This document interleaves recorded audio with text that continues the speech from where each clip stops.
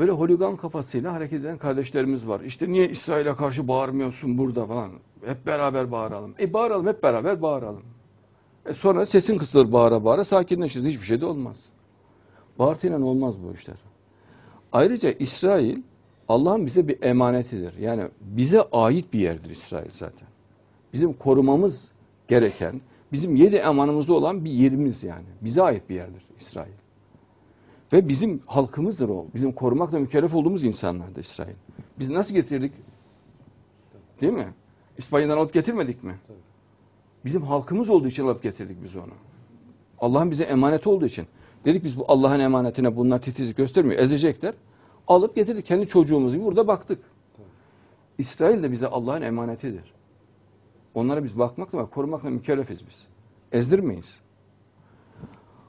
Ama e, metot yani bir kısım kardeşlerimin metodu klasik komünist metodu. Yani Ho Chi Minh'in metodu, Chen'in metodu, e, Troçkist metotlar, Leninist metotlar böyle değil. Kur'an'ın metodu vardır, peygamberin metodu var, sünnet metodu vardır. Sünnetin uygulanması gerekiyor. Peygamberin dediğini uygulaması gerekiyor ve peygambere kanaat getirmeler lazım. Bediüzzaman diyor inanmıyorlar. Peygamberimiz söylüyor inanmıyorlar. Kur'an söylüyor inanmıyorlar. Ben kendi kafamdan bulurum diyor. Bir anda Filistinci oluyorlar. Filistinci. Başka sanki Müslüman alemin hiçbir sorunu yok. Yani Filistin'e gazoz, cips gitti mi konu bitecek gibi. Mesela kalemler kaldırıldı diyor. İşte şu cips kaldırıldı, gazozlar falan, helva diyor. Kalemler eksik helva. Adam seviniyor helva serbest bırakıldı diye. Kardeşim o bölgenin bir kere çok güçlü eğitime ihtiyacı var.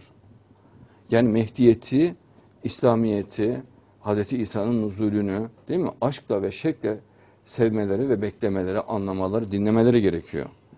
Yani helvayla melvayla bir yere varılmaz.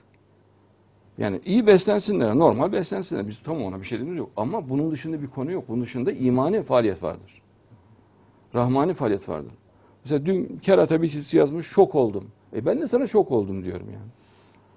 Sen e, yıllardan beri Müslümanlar ezim ezim eziliyor. Çözümü var diyoruz. Net çözümü var. E buna yanaşmıyorsun. Değil mi? Niye Türk İslam Birliği? Bir de Türk, Türkiye'de çok alerjileri var bir kısmı. Sürekli Türk, niye Türk diyorsun? Ya kardeşim lider biziz. E bunu gizleyelim mi ya? Ne diyelim? Biz yine başsız olmayı istiyorlar ya. Bak o da bir e, yine şeytani bir şey. E, vesvese.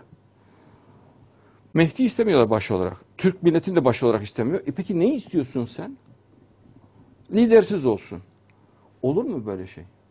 Biz ırk olarak, genetik olarak Türk milleti üstün dedik mi siz? Ahlak olarak üstün diyoruz.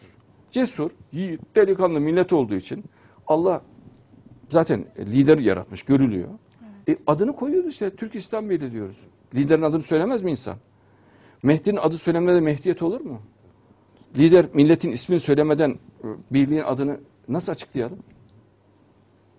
Değil mi? Türkler lider olacak diyoruz. Olmuş. Yani bu gayet doğal, açık yani inşallah.